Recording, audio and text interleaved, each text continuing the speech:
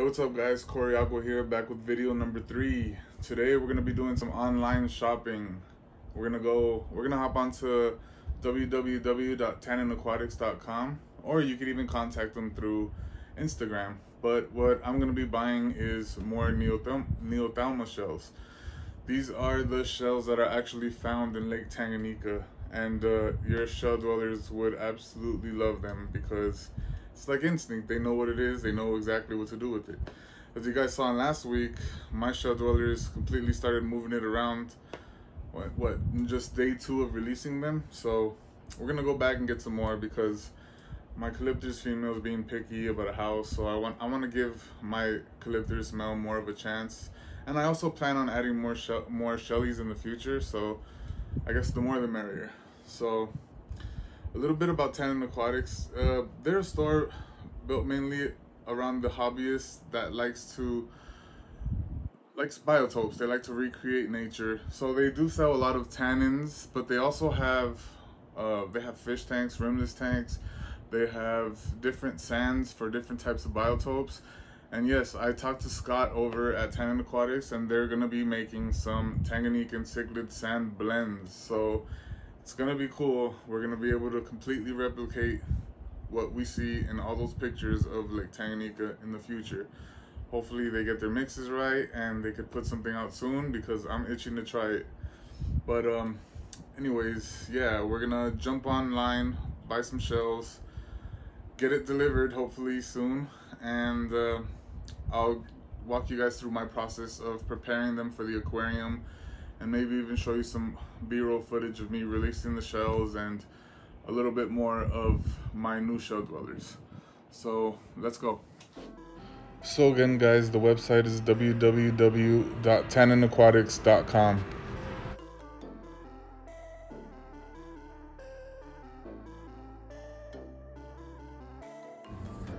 You could find these shells under the hardscape category in the shop tab.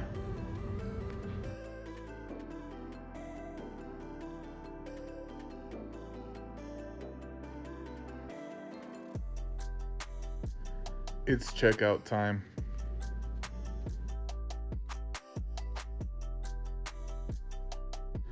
After my package arrived a few days later, it's time to open it up.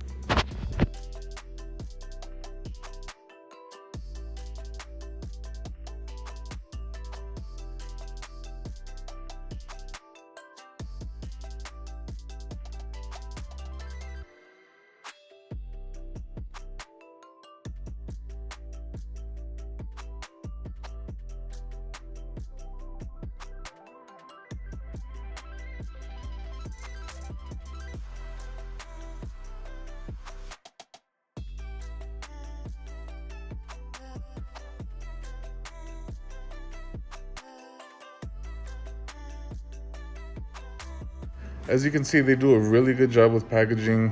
There was a few layers of paper padding. Now there's some bubble wrap here. This is my second time ordering from this company and I have not received the one damaged shell. Now that my shells have arrived, they're ready to be boiled. Now I know what you guys are thinking. Why don't you just dump them in? Well, one, I don't want to damage them. They're already a little worn due to the weather. And two, they'll just float. There's a lot of air trapped in these shells. So I have to scoop up the water and make sure that the water gets all the way into the shell so that it anchors down into the water. Next, I turn the stove on to medium and boil the shells for 30 minutes.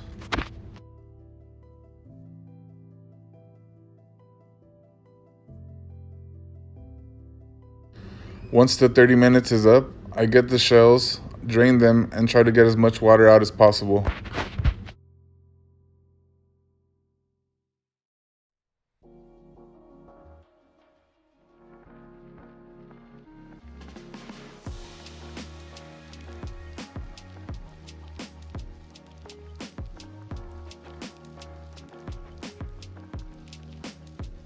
Now, as a safety precaution, I like to dose my aquarium with Prime.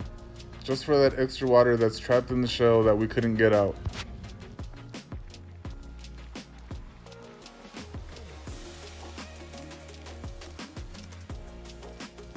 Now, if you remember, I said earlier that these shells float. You have to pick them up individually and kind of like twist the shell counterclockwise so that the water sinks to the bottom of the shell.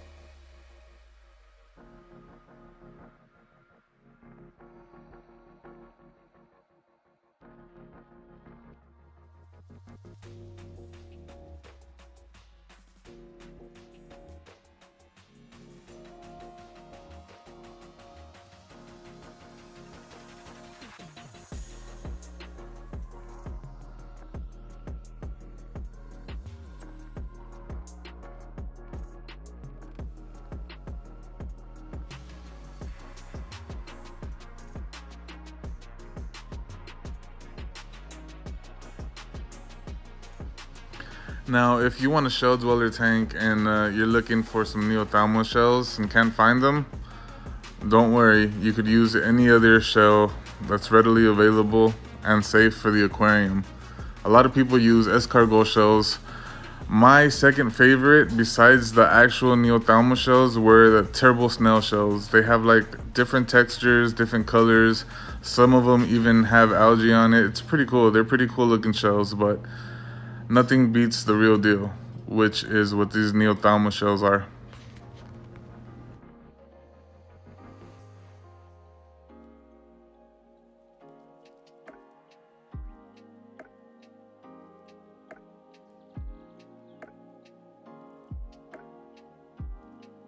All right, guys, that's going to conclude this video. I appreciate you guys for sticking through. Um, I'm trying to post one video a week. That's my goal let me know what you guys thought about this video if if you like content like this or just give me some suggestions or some feedback. That's all i ask. Thank you guys. Please like comment sub subscribe if this is your first time watching and i'll catch you next week